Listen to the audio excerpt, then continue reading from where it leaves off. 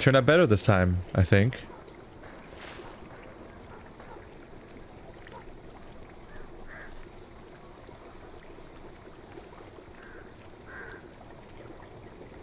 I think there's something at like at first it seemed like a, a missed detail, but I think there's something very deliberate and uh, unnerving on purpose about how every time you transition time, uh, other things in the room move, but Aliena's standing exactly where you left her last time you were controlling her before the time jump.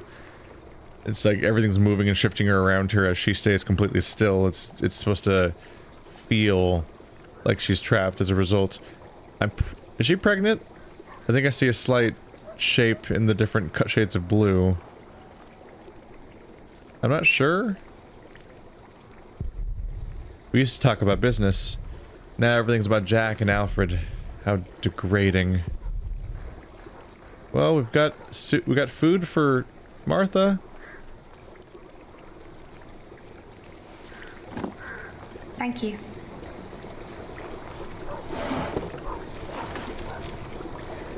I'd never thought that my brother could work so hard.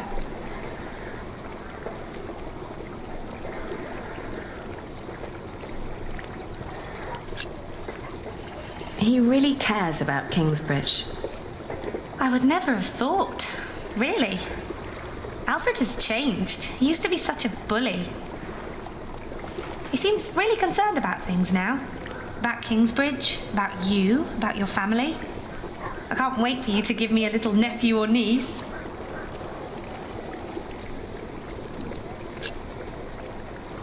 Well, enough about Alfred. Did you get the blue dye I've been asking for? Actually, I did. It's from a woad merchant in Winchester. Took me some time to find him. Oh, thank you so much, Martha. I guess now I finally have to finish my weaving. How's it going?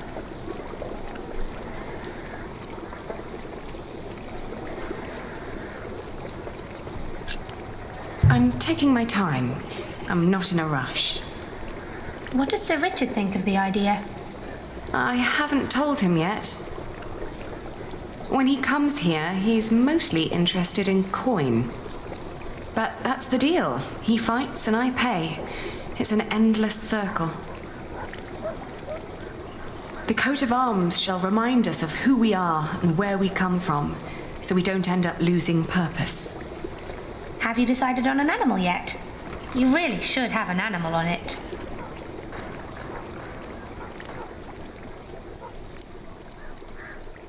To choose the animal. A ferocious tank of a of a creature, the proud lion, honorable or elegant, fierce eagle. I don't even know what to call eagles. After all the shit we are going through, of course we are going to do a fox. It will sport a fox. Oh, foxes are smart. I like that. Ali, I'm so sorry that I mentioned wanting a niece. I just thought in the last month that you were, well, growing a bit. Oh, I'm just getting fat. You're not getting fat? You forget that there's not a lot for me to do other than sit around and eat. Then we should take a hike soon. Stretch your legs and get some sunshine. I'd like that. I would like that a lot. But not today. I need to finish the coat of arms first. Get it done while I still can. She's not getting fat, is she? Oh no. It's Jack's baby. And she hasn't told Alfred. And they haven't had sex. So it can't be his. And so she's gonna it's gonna be super obvious. Especially when it comes out as a redhead.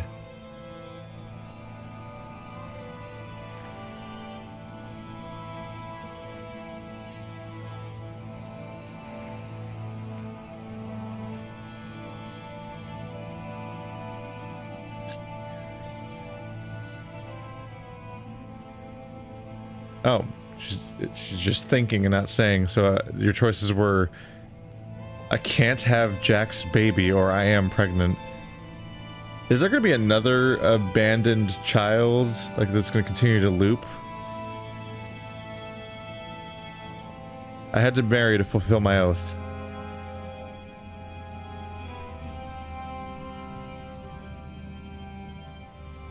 Alfred's trying his best.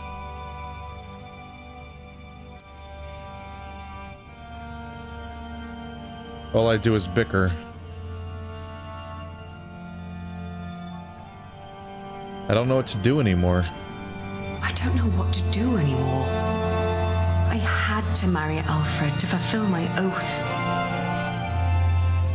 I wish that Jack would have understood. Love alone could never stop William Hamleigh.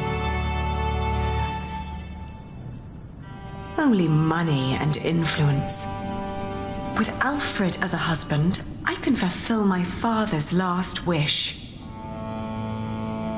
And ever since we've been married, he's been working deep into the nights to finish the cathedral. And when he's home, he expects nothing in return. Although I can see so much longing in his eyes. He is trying his best to make our arrangement work. While all I do is bicker.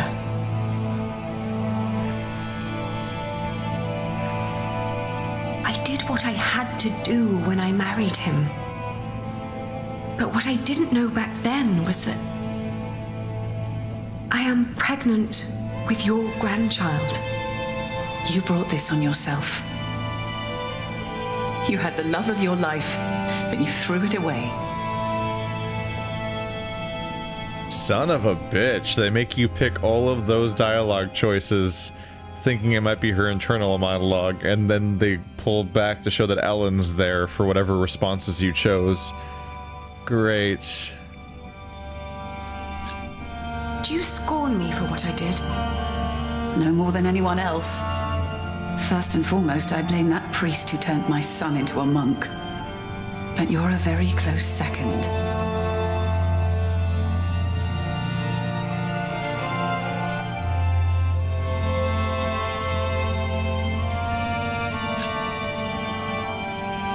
Brought Jack back? Oh, Aliena. Jack has left England. There's no possible way to find out where he went.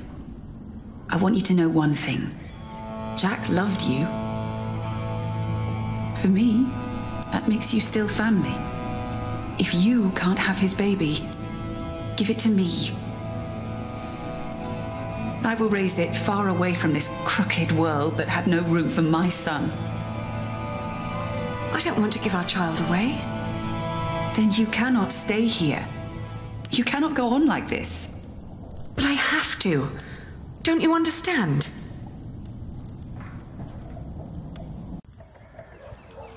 What the hell is what the hell's Alfred's rea reaction to all this? finished.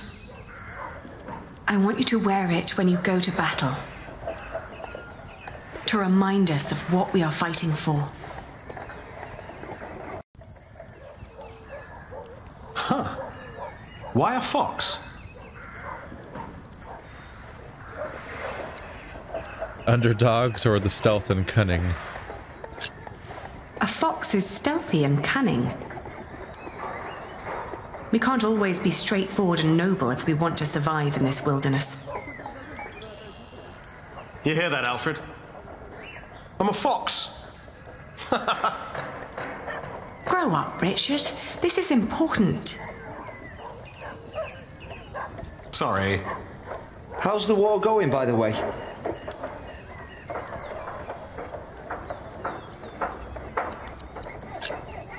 How is your standing with the king?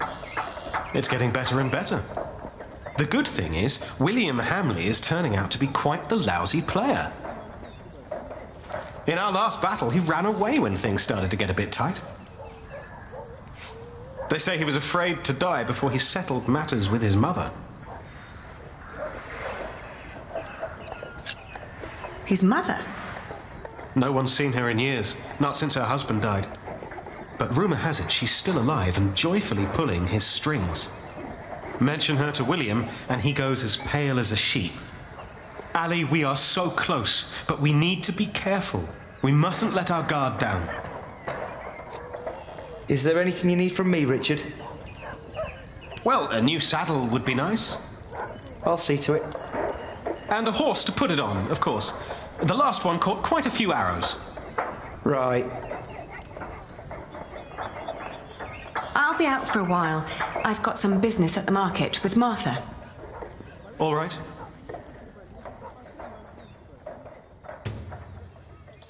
It's the dynamic got weirder. it was already weird when it's like you're playing the sister that has to keep buying like weird expensive war equipment for your your your brother that goes off to war and everything, but now now she's the sister that now it's the now you have a, a husband and you're carrying a different man's child while your husband is paying for your brother to go to war so that you can get your power back so they can then uh, do they even did they have divorce back then? I don't know if they had divorce back then. I think they I think she's I think they might be stuck with each other and then unless some of them dies one of them dies or something.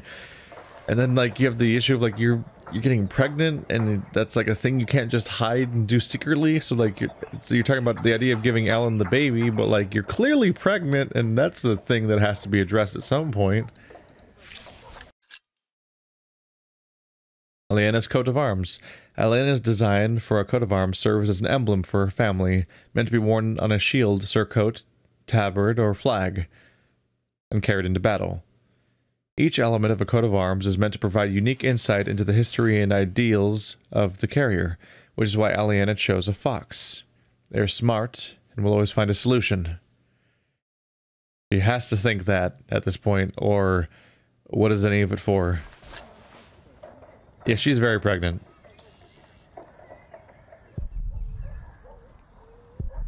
It's finally done. Why did it ever take so long? Now I need to find something new. He's doing well. We all are. Who would have thought? No. I won't brood about him. Not today. Jesus. Poor Alfred.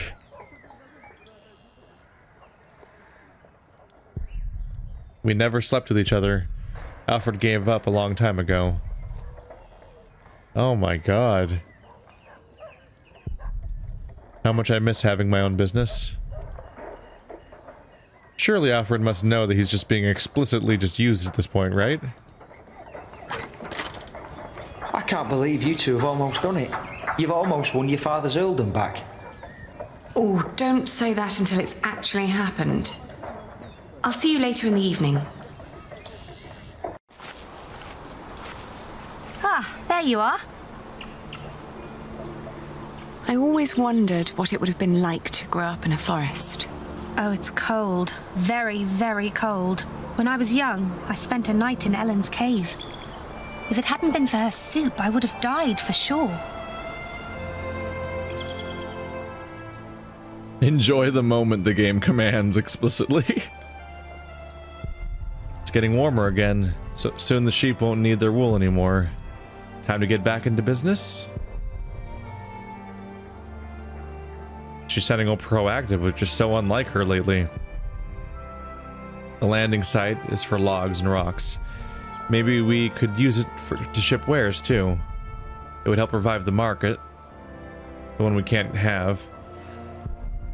They say more towns are growing out there. Towns like Kingsbridge, Maybe one day I'll travel again. That's where Ellen and Jack came from. Can't imagine a life like that. But then, one, I couldn't imagine this life either. Or once I couldn't imagine this life either.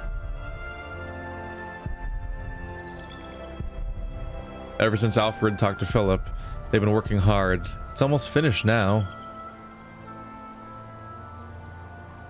I thought this entire game was going to have a framing device of just being Tom building his cathedral while all these crazy things of politics and dis and intrigue all happen around him. And he didn't even survive the second part of the, of the game. There she is.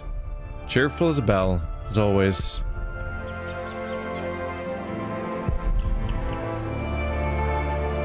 What kind of soup? I think it had deer in it. Deer? Yes. Jack had caught it before we met him. I think it was the only one he ever caught. But hunting deer is. I know, it's punishable by death. Jack never was one for rules and laws. right.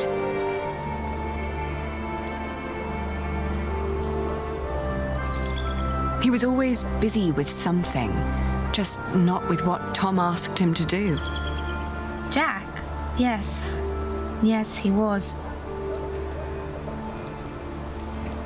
You will be an aunt soon. What? But don't tell Alfred. I haven't told him yet. You still think marrying him was a mistake? I do. I do too. But you did it for very good reasons. So, maybe it wasn't a mistake after all. Maybe it will work. Not in a loving way, but more like a partnership. You two seeing eye to eye to each other. Mm, maybe. Uh, but the baby is not. What was that?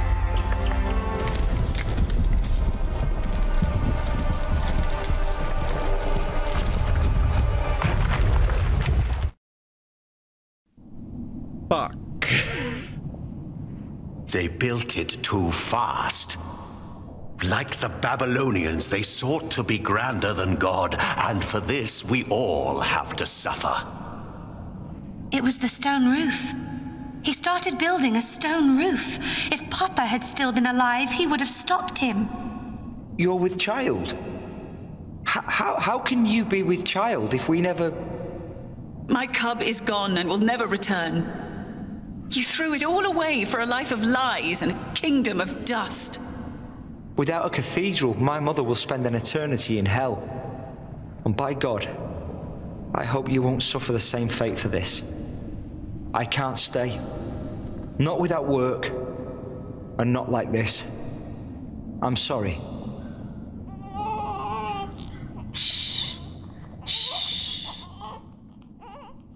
That's why it was black and white. Cry. They were fading back with the right hair color.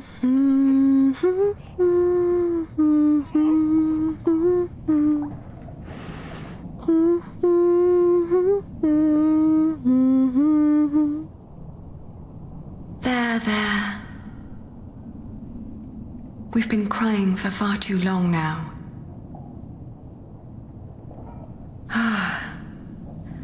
Where do we go from here?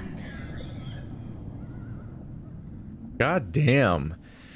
So this entire episode was building up a ser- not the, the book. I just don't want to call it a book. It feels better to call it episodes, part two, whatever. As it was slowly building up a whole bunch of things that were all going to come crashing down all at once.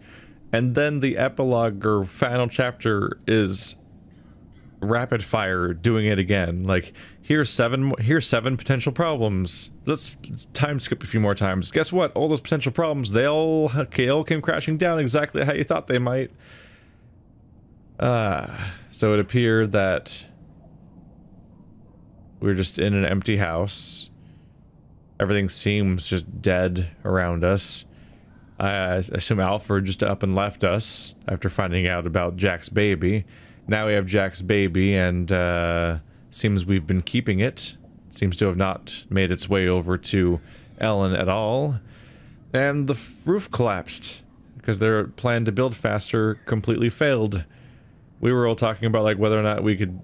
You know, you'll notice that they didn't give me options generally this chapter. We're not really, we're kind of not really playing a game. We're kind of just watching a story play out, which is a little bit, of a bummer because that's the trap that the Telltale games fall into. Is that at some point they just stopped being video games, which is a bummer. Uh, we'll see if it picks back up again next ep next episode because I think we're probably close to done here. But they gave us the option about the worksman workman comps thing, which didn't matter because we didn't have money anyway, so it was irrelevant. But we didn't get any input on the whole roof thing, which we got heavily reinforced at the beginning of the game that do not build do not build a stone roof. This cathedral's walls were designed for a wooden roof. They cannot support a stone roof. And they went and did it and they didn't remember, and Tom couldn't stop him, and Jack wasn't here to remind him not to do it, because Jack understood that better than... Jack always understood that better than Alfred. It's the one thing that was set up at the beginning of the, of the storyline. And now we're boned. It's in shambles with no money to rebuild it. Is this church ever gonna get done now? It's all gone. No more wool either. Do people even live here anymore? It sounds like like Albert probably Alfred Alfred probably want to probably left for work. Is anyone still here anymore? So her next plan, she had a whole plan before, and it worked for like five years, and then it fell apart when William ripped it apart.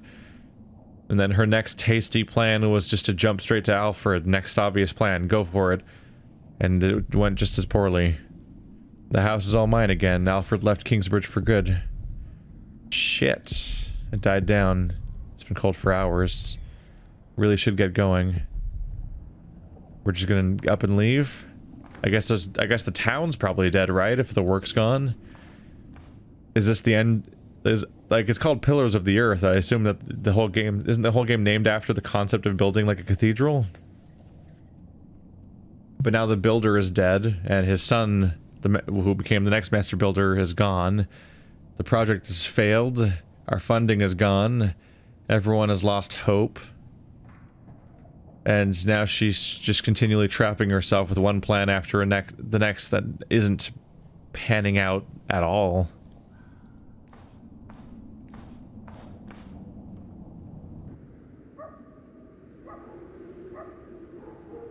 We will build a cathedral right here, towering high above Shiring.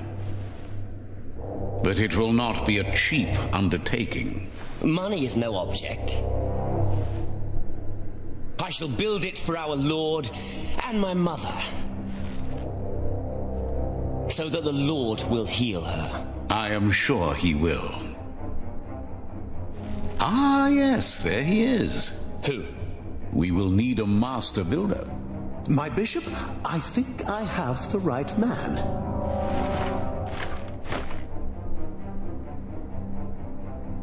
My bishop, my name is Alfred Builder.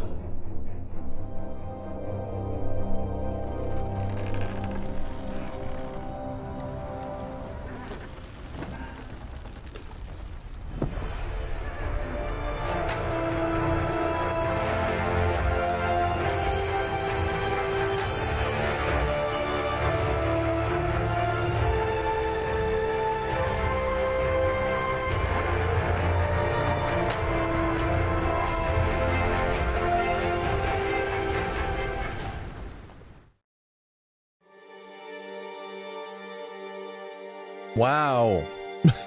Everything fell apart. There's like nothing left at this point.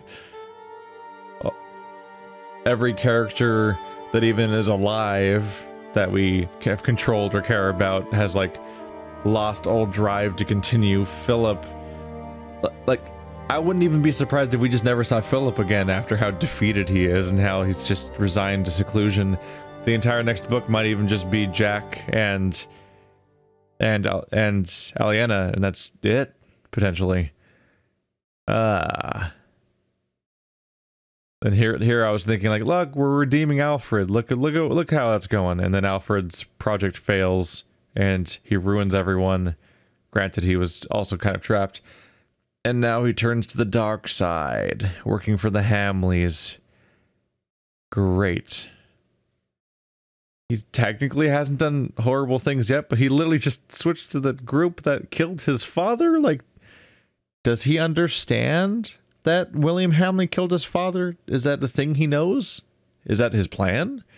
Is he so? Is he has he given up on the building thing? He's just like, you know what? Fuck it. Let's take revenge on William somehow, and that's all I'm going for anymore. Because that'd be nice. Maybe we'll continue this redemption arc for Alfred next book, or maybe he'll just be the incompetent builder that the bad guy uses, and that's the end of his story, which is would be very disappointing.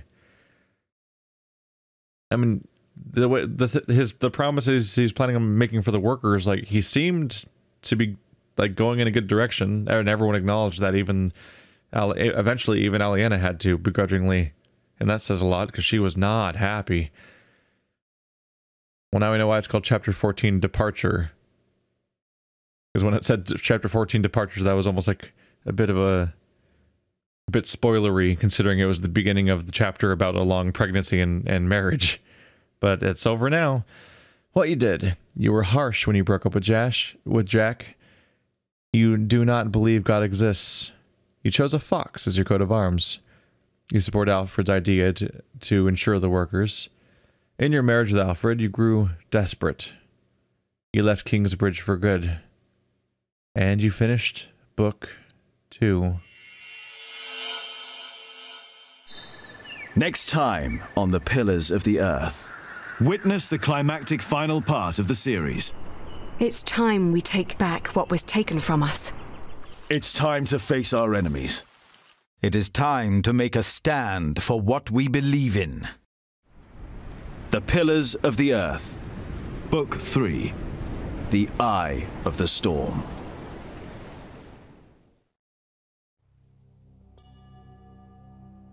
Oh, we're looking for another big time jump, aren't we?